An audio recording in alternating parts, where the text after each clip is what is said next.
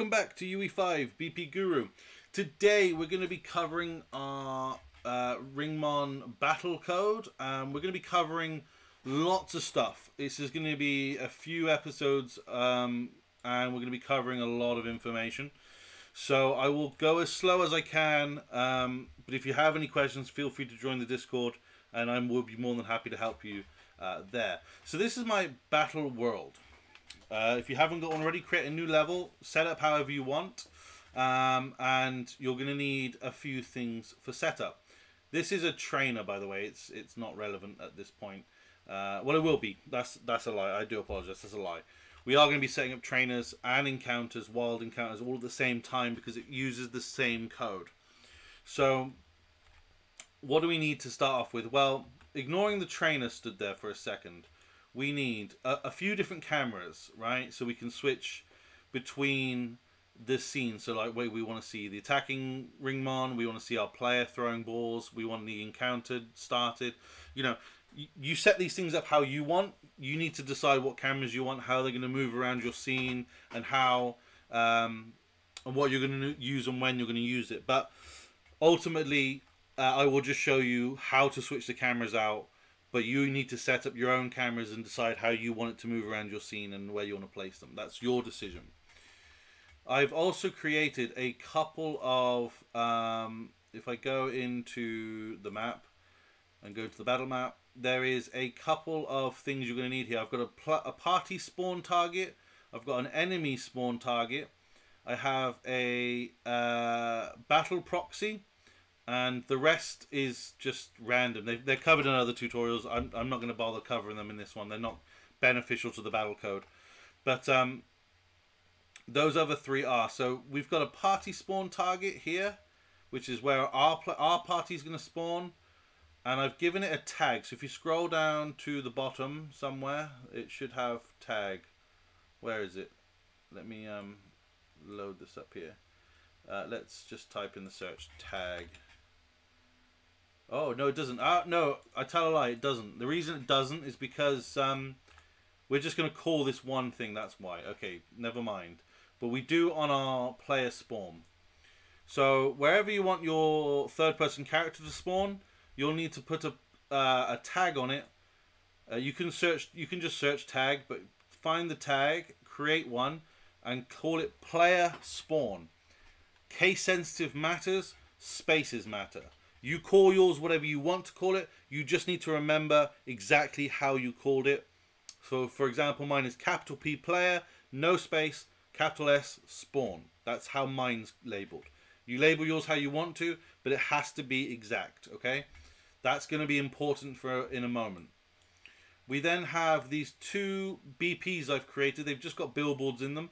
One is called Party Spawn Target, and the other one is called spawn target. It doesn't matter what you call them, they don't require tags, but they are just standard BPs. And then I have another BP, uh, not that one, where is it? It's not spawned in, that's probably why. It doesn't matter. It's just the battle proxy. It's just a blueprint, it's just a blank blueprint actor. Um, we're, which we're going to put all of our battle code into in a moment. I've already got it open for uh, use in a moment. Uh, and that's pretty much all you needed at this time. What is that?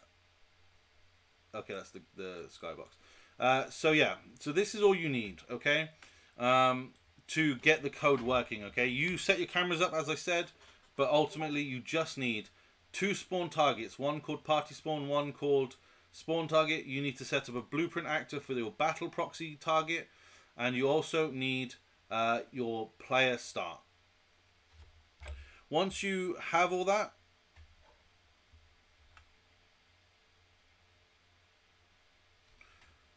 once you have all that, we can move on into the next section. Now, I said we're going to set up trainers. Now, my trainers work very similarly to the creatures in the sense that um, if we go into our... I've, I've, set mine up in here in the blueprints, got trainers here. Uh, we've got a trainer struct. Uh, I will go through every one of these in the struct. So we've got trainer ID, we have trainer name we have encounter dialogue, we have win dialogue, we have lose dialogue, we have defeated dialogue. Those are all string uh, variables. We then have a win money integer, we have a lose money integer, and then we have a boolean that is that checks to see if it's been defeated or not. That is all you need for your trainer at this point in time. That's all I have at the moment. Um, the next thing you're going to need is to open up your NPC master. You are going to want to add a party struct structure and a your trainer struct structure to your NPC. The party stru struct structure is the same structure we use for our players party. It's exactly the same. They're just it's just it's just going to be unique to our trainers. Uh, and then we have our trainer information, which again is just what we uh, spoke about in the structure. It's just your trainer ID, trainer name, encounter, um, dialogue, etc. Um, okay.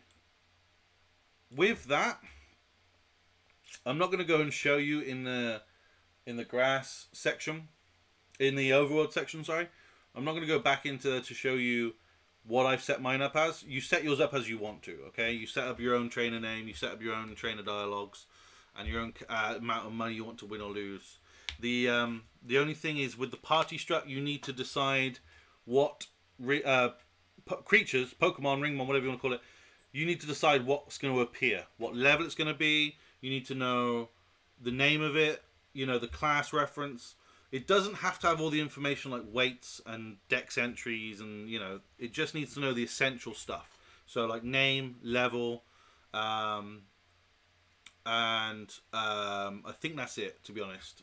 But it still needs to have all that uh, basic information where you want to pull through uh, into your world. Okay, once you've got all that and you're happy your NPC is created, uh, we can open up the master and we can start doing some stuff. So the first thing you want to do is add in your skeletal mesh of the character you want to have appear. You also want a collision box so that you um, can collide with it and obviously click enter, etc. You know, whatever you need to do. We're obviously going to get those collision boxes and all we're going to do is enable input and disable input using the player controller. Very simple stuff. We've covered this many a time before. Not a lot of this should be uh, alien to you at this point. Now, this has got some of the dialogue stuff in there. I know I said I wasn't going to really cover that in this series because your games need to be unique. You don't want them to copy mine. You need to, as much as you're copying the code so you know what to do, you do need to kind of think for yourselves a little bit in terms of how you want your games to differ. You don't want to create a hundred games the same. You want yours to be unique. Okay, so things like uh, particle systems, animations, and dialogue boxes will all be on you guys. You need to think that through and how you want to implement them and when you want them to appear, what styles you want. That needs to be on you guys. But I will show you this ref this this uh, situation of what I'm doing. Okay, just so yours is the same as mine, in the sense that you can interact and get your uh, trainer battles to show up. So we have our trainer information. We're pulling that through to check if it's been defeated. If it hasn't, we're going to obviously move on uh, and do what we want to do. But if we if it has, we want to uh, get our trainer name and dialogue. We put I put mine through to my dialogue widget. Again, you need to decide how you want to do that. And of course, I add it to the viewport. And then after three seconds in my dialogue widget, I actually destroy itself. It removes itself from the parent. So I only ask it to wait three seconds before we actually can get rid of it. Okay. The three seconds delay basically is um, uh, is to stop it from me from just keep pressing enter and doing stuff. It just stops the code from ending for a few seconds longer.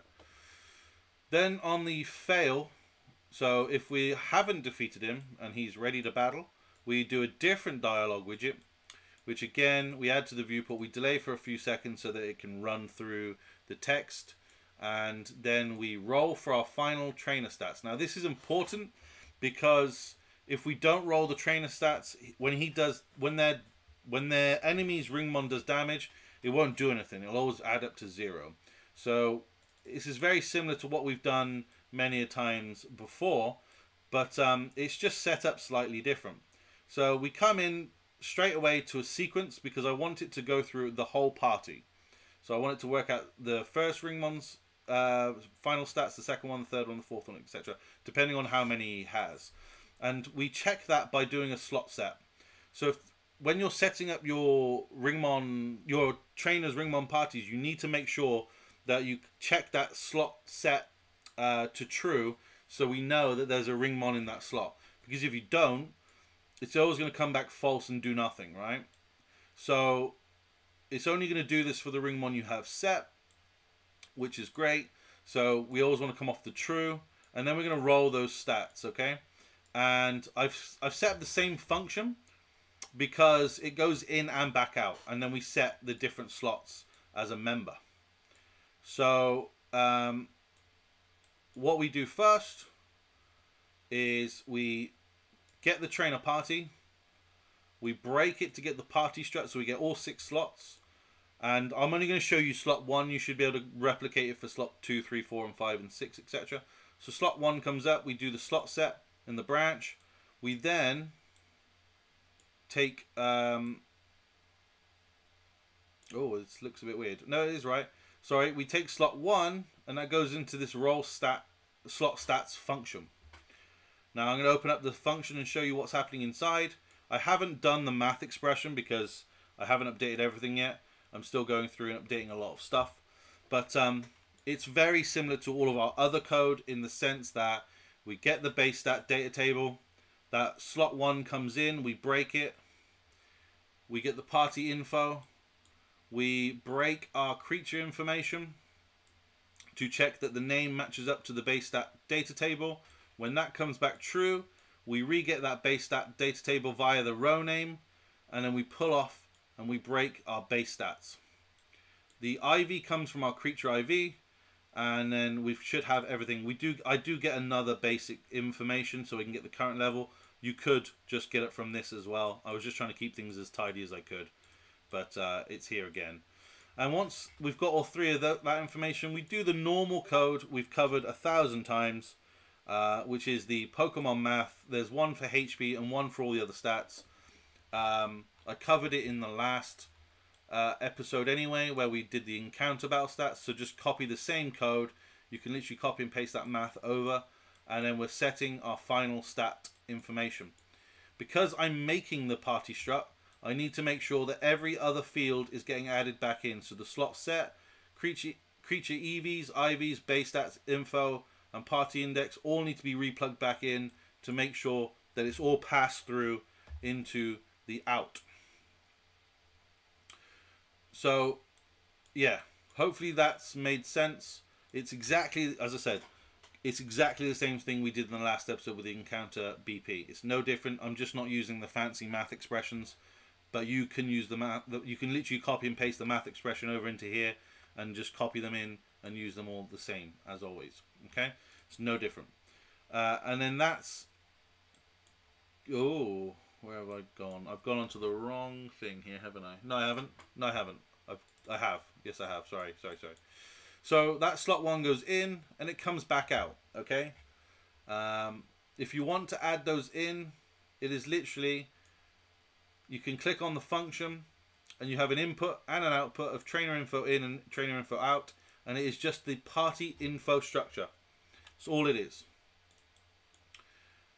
Um, once that comes back out, we need to set our trainer party, but we're just setting the member of slot one, okay? And you can literally just drag out your party, your trainer party variable and plug that in to either side and set it the other side. Simple as that. And just repeat it down. You don't need to set up six functions. You can use the same function because when it because it's not getting set on the inside, of this function, the slot 1 information goes in, it comes back out and gets set, and on the second one, the slot 2 information goes in and comes back out. You shouldn't have any issues with that as long as you're making sure it does go fully through it. If you're setting it inside the function, you're going to have an issue and you would have to make multiple functions. But um, yeah, do it the way I've done it, um, and you shouldn't have any issues. And that should set the whole team's final stats for you and we can go back into our event graph and move on. Now you'll notice that this save information is relatively similar to the encounter information in the sense we are saving all the same uh, third person party information I have added player money in there. That's because I added a new variable into the third person character so I can uh, finally have money in the game. I have a monetary value now within the game. Um, so you need to add that to your save party information in your save party save file. Um, you need to add a new variable, hook it all up just like you did everything else. Uh, and we have now got a new save trainer information save file. This is passing through again into the game instance and although that's warning, I haven't fixed that yet. It's just passing mainly over the trainer party and the trainer info. That's what we need to pass through uh, into this save party information. Okay. Um, and that's that's the gist of it basically. So as long as you've got this save file information set up, you should be good to go. Now I did talk about this at the end of the last episode. I'm very quickly going to go back through it. So we have a BPI we set up. If I go, if I find it in the blueprints, where is it? There you are. Interface BPI I called mine. Um, if we go into it, we have now got the save trainer information uh, BPI. We have the save party information BPI, which is all of those uh, variables. And we have the save encounter information uh, as well. And then the save trainer info. Again, like I said before, you need to go into the class settings you need to go to the right hand side where the details panel is, find inherited interfaces and add that interface BPI into the trainer master BP before you can utilize these messages. It's the same for the encounter BP and it's the same for the game instance. They all need to have that saved in their class settings. So we're going to open up the game instance now and take a look in here. Okay, so we have um, this is the encounter save. So this is what you should have coming in. Create the save game object. Set the encounter, uh, selected encounter, set the creature information, set the creature stats, set the creature IVs, set the creature final stats, set the encounter save that comes directly from here, promote it to a variable, and then you can use that to plug into save game to slot. And then we, mine's called encounter slot, and then index number is 101 and then it's the open level with the grass battle level name. Now, these two have changed a little bit. The reason is is that this information needs to remain. So uh, we don't want to delete our save file anymore. Otherwise, we lose our monetary value every time we save. So now we say, does uh, save game exist? Uh, we check it from our party slot 201 branch. If it's true, then we load that game slot uh, that game slot, we cast to the party save, and we set that information from this load game from slot. If it does not exist, so it comes off the false, we create the save game object instead, and we do what we did before, exactly the same, uh, including that player money variable that you need to add to your party save. And then we just save the game to slot party slot index 201. It's no different. But it's just adding this little bit extra here so that we don't override our save file now. Um, same goes here in the trainer information. We, we say does save game exist? Um, and we check that via trainer slot and our user index is 301 for this save file. If it does not, we create the save file and we set our trainer information, trainer party, trainer mesh, and trainer save, just like we did for all the other ones. And then we save game to slot trainer slot 301 and open up the grass level. If it does exist, again, we load game from slot, trainer slot 301, cast to the trainer save file so we can get the variables, uh, and exactly the same thing, set the trainer save, pull off from the trainer save, and save game to slot, trainer slot 301, open the level. So, yeah, the only one we don't need to open the level up is the, uh, the party save file. Uh, that's the only thing we don't need to load the train of, uh, load the open level from. Every, all the other ones we do. So now that we've got that, you should have your information saved. So what are we going to do with that information? Now, I think a lot of you in the older episodes um, had it that we opened up all of our information from our grass battle level um, BP.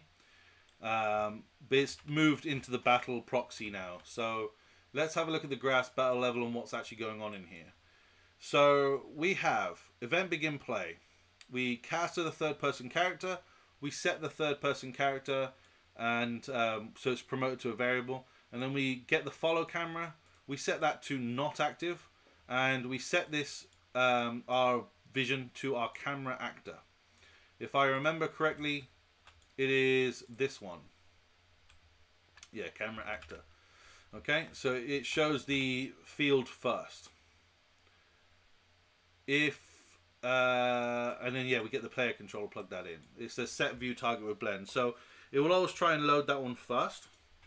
But uh, if I'm perfectly honest, it won't matter too much. Um, only if we're going into, um, I believe it's only if we go into a trainer battle, but it shouldn't matter too much. Right. The next thing we do is we have a sequence. We have three nodes on that sequence. The first one goes up to our party slot. Again, index 201. We cast that party save game. We set uh, is encounter from the party save. We get our creature party and we set the Ringmon party in there uh, from our third person character. We save, uh, we get our target of our party, uh, our player money, and we set our player money as well to our third person character. This just keeps those values alive, okay? Uh, mainly the is encounter and the player money. The Ringmon party is useful because we need that information for the battling. Um, we then get the third person character.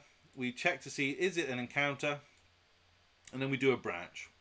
If it's true, we get all actors of uh, NPC master, and we do a get.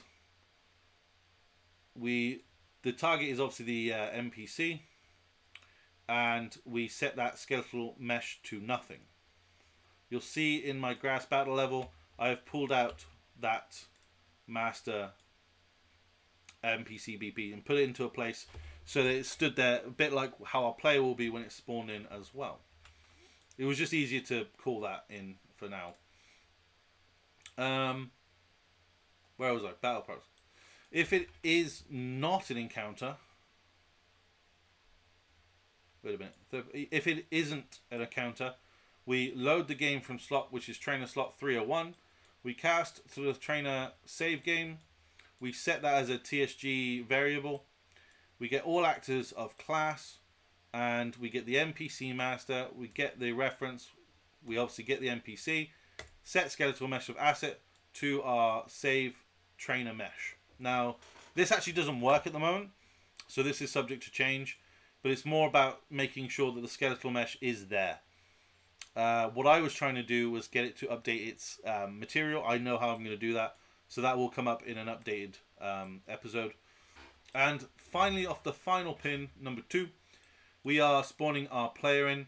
So again, we pull off set actor transform, get player character, get game mode, find player start, again, player spawn, make sure it's spelt correctly, to that tag on your player spawn um, on your uh, player start. Make sure you add the tag to your player start and make sure that it's spelt correctly in here. So my, again, mine was capital P player, no space, then it's uh, capital S spawn. Get the actor transform, plug that in. Then we set input mode to UI only so that we're only using our battle widgets. We set the show mouse cursor to true and then we spawn actor battle proxy target uh, which is just again the battle proxy target blueprint we should have now set up which is this thing here so yeah that's all it takes uh, to get to this point um, I've gone through it pretty quickly so just slow the video down pause when you need to so you can catch up and you should be okay um, now we need to um, get the battle proxy target set up now you don't need to drag one of these into the world. You can literally... Sorry, I'm just checking. I'm I am actually recording with a microphone. Otherwise, this would be painful to go back through. so we're um we're getting a billboard on there so we can see it in the world. But actually, I realise you don't need one because we don't have to drag it in. We actually just spawn it into the world using this um, this part here. It's just spawned at 000, 000, 000. It doesn't matter where it spawns. It really will have zero effect on anything because we're just using it to run our battle code through. Now you will need to set up of course a, if I go into my widgets, you will need to set up your own, uh, do, do, do, do, where is it? Uh, you will need to set up your own battle widget that has your information on here. So I've got like health bars, experience bars, levels, names, uh, genders on here. I've got attack, run, inventory, party, capture, and the move names. Okay, the move, and they're all buttons. Okay, these this slot down here is all buttons. So I'll show you this first before we actually get into the code. Now, the main thing is is uh, I, again I've shown this all off before. It's not set up quite ready for. Um,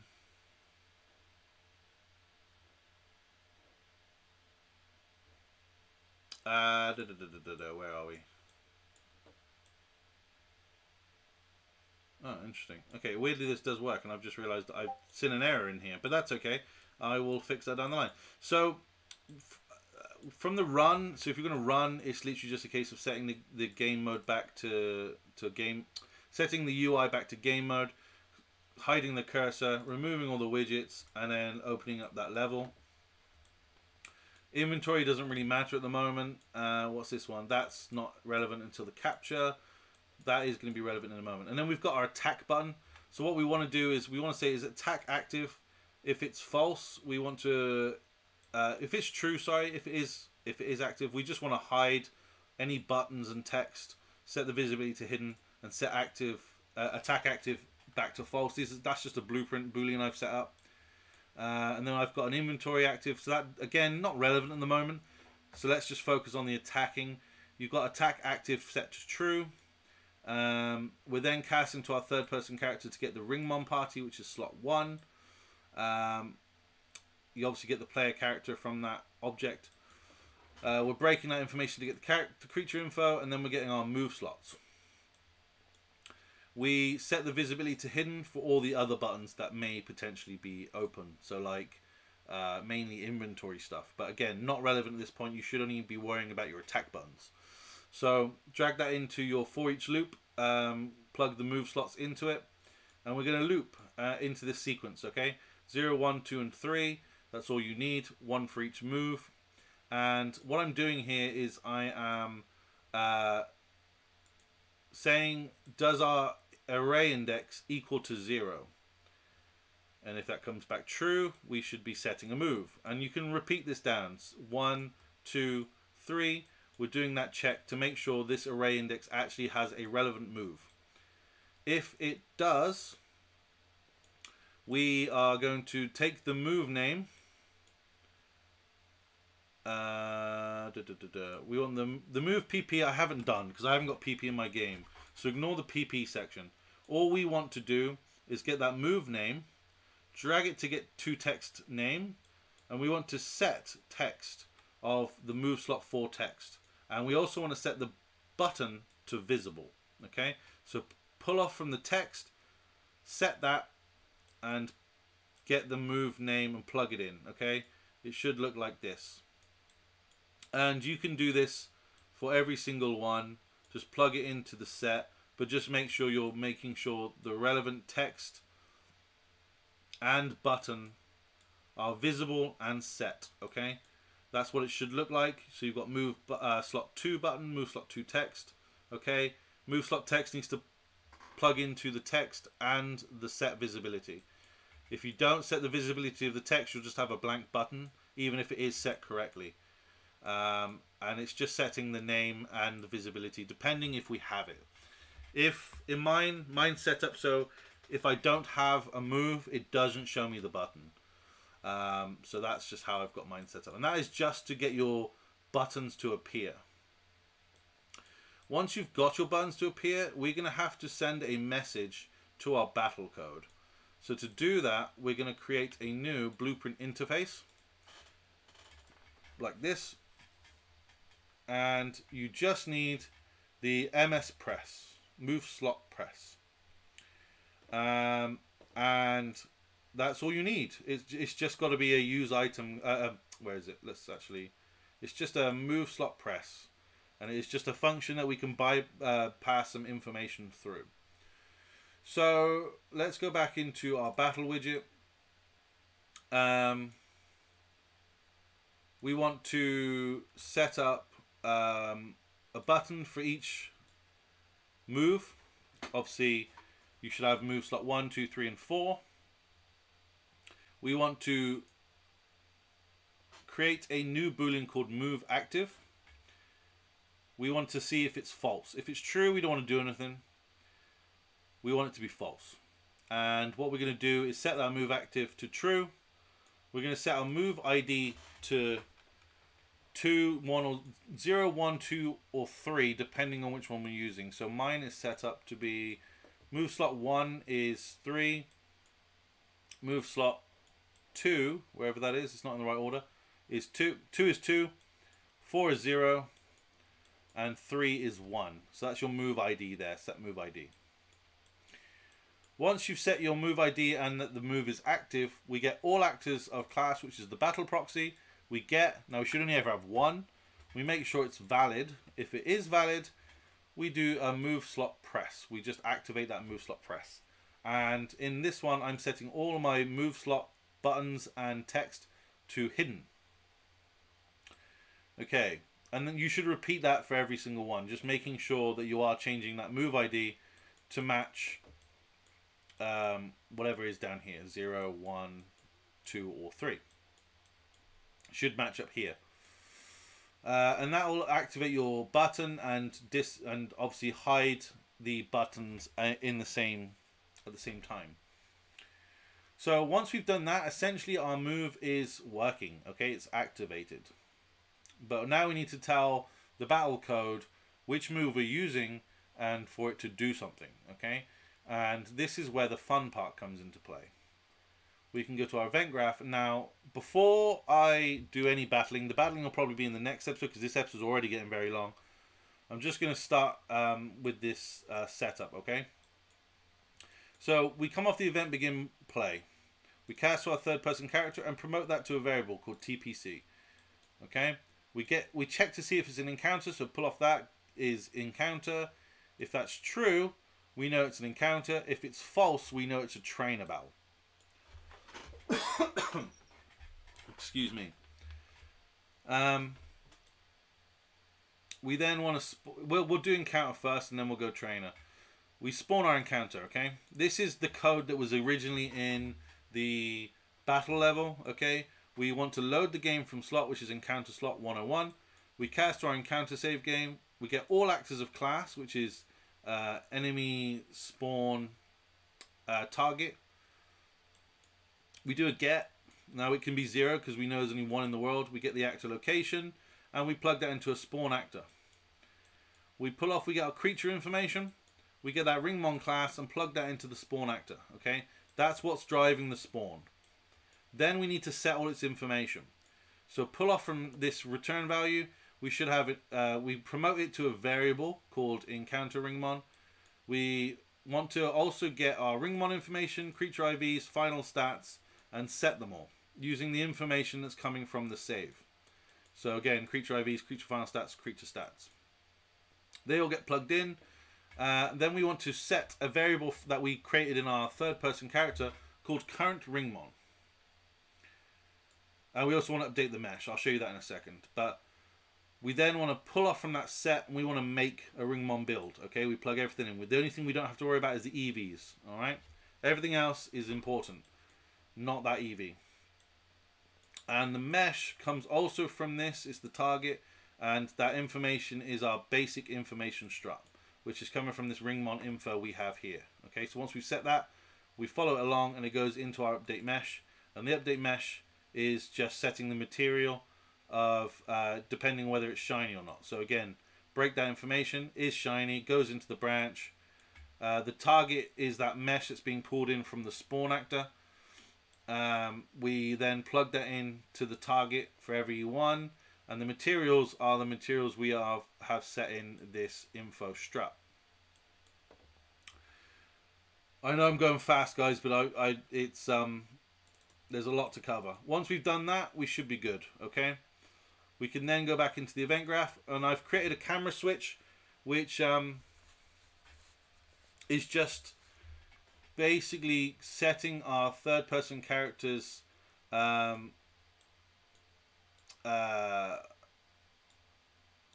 I should probably go backwards here a little bit. Let's go back into the world level. Up, up here, I didn't cover this. I have a camera switch I've set up. And what this does is it changes the, the active camera.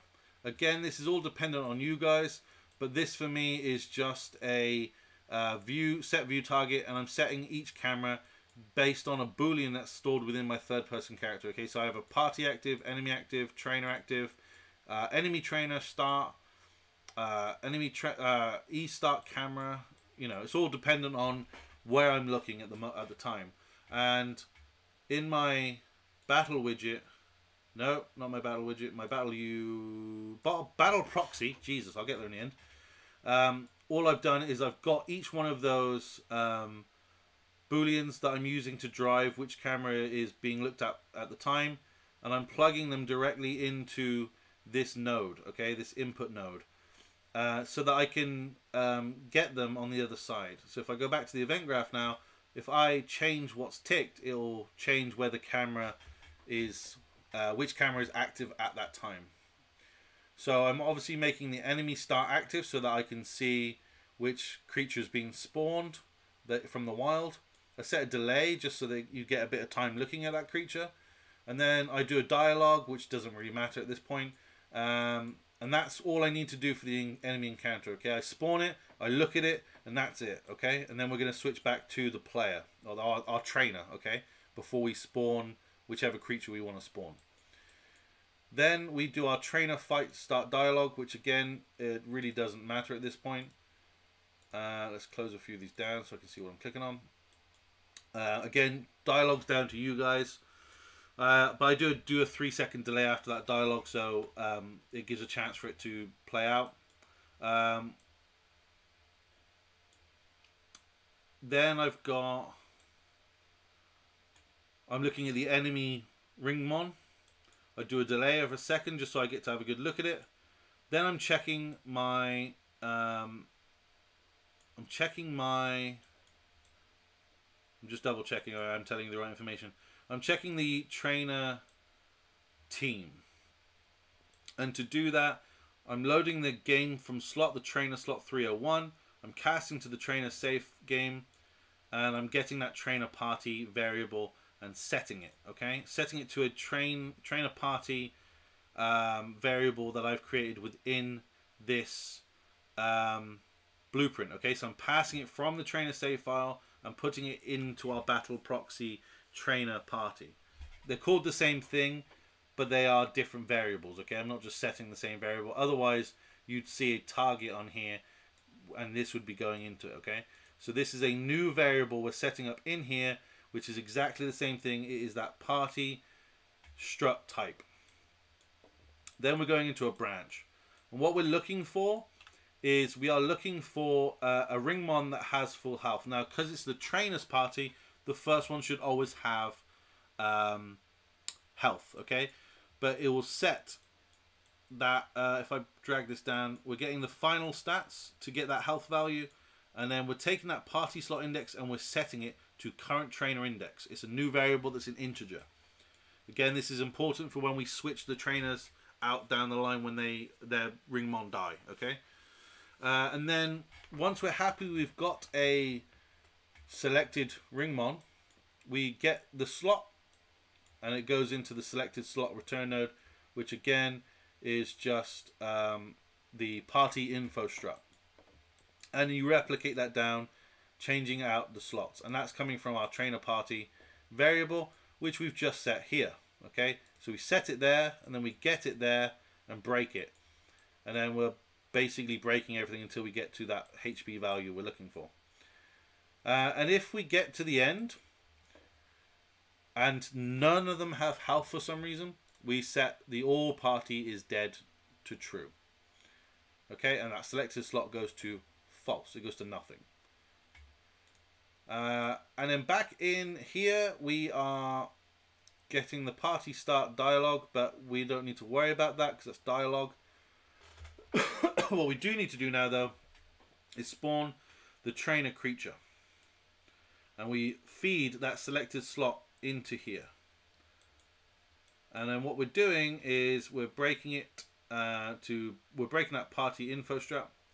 We are getting the enemy spawn target. We're getting it, zero index for it again, get all actors location, and we're spawning that actor Um, and that is the transform. The transform goes into there. That location goes into that transform.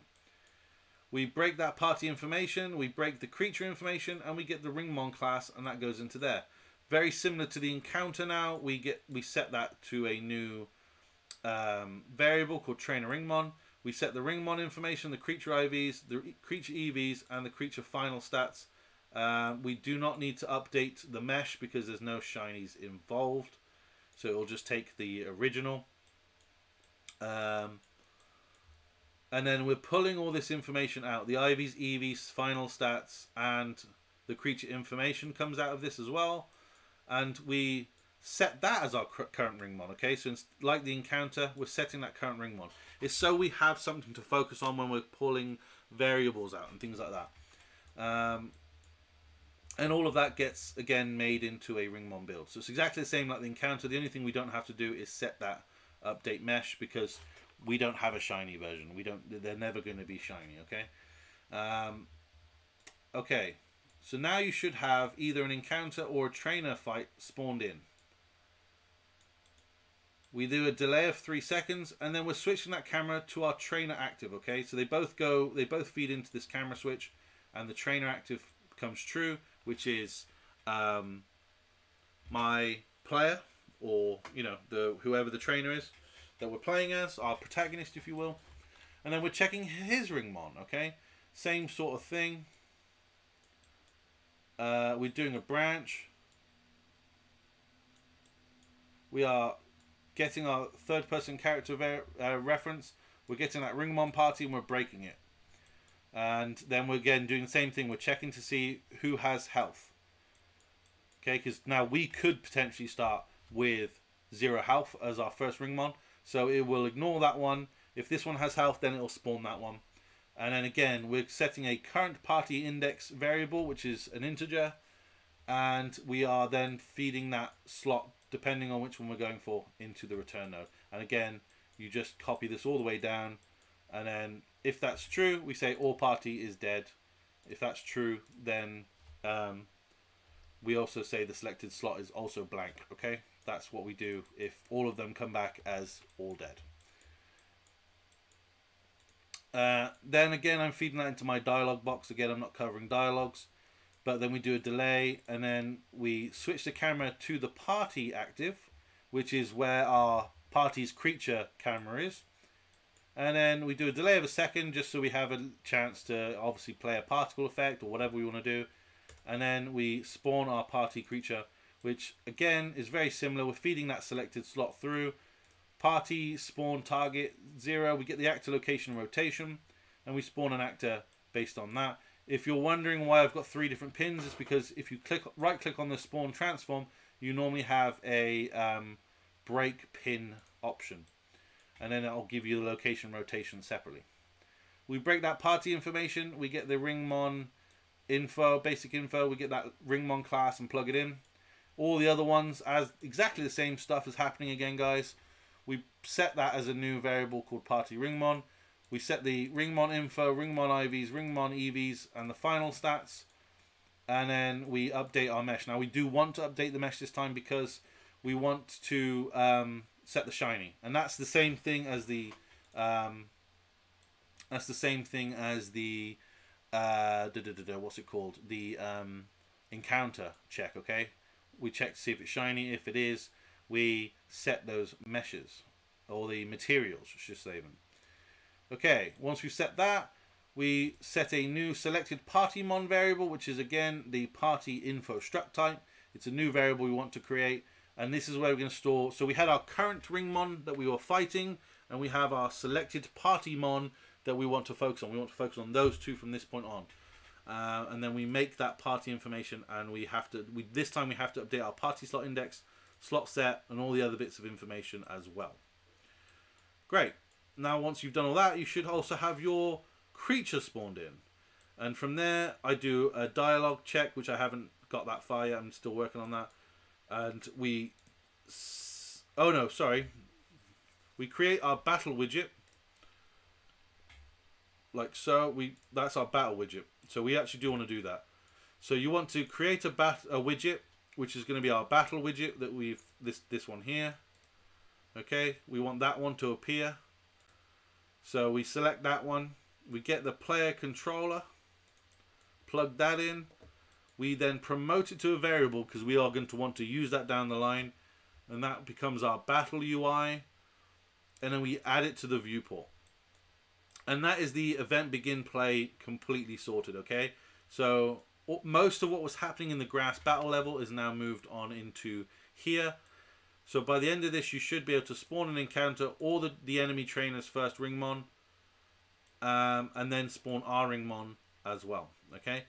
As I said, I'm not covering dialogue. I'm not covering particle particle effects or animations at this point, and I might not. Okay, because your game should be unique. You should have it flow the way you want to. You shouldn't have to copy mine to get your result. You should be able to just um, come up with your own. Okay, it's got to be unique for yourself. Uh, otherwise, it's not going to be your game anymore. It's going to be my game because you're just copying me. Okay, it's not about copying me. This is about opening your mind up and helping you uh, to formulate an idea of how to do this. Okay, your game will be different. It's not going to be the same.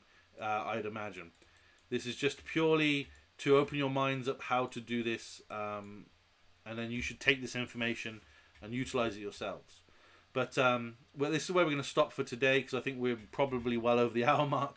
But um, at this point, you should have all three creatures spawned. If you are still having issues, please feel free to join in my Discord. I'll put the the links in the uh, description, and you can ask me any questions. I'm more than happy to help. Um, but thank you so much, guys, for watching. Uh, I hope this has been very helpful to you, and I will see you in the next episode. Take care. Bye.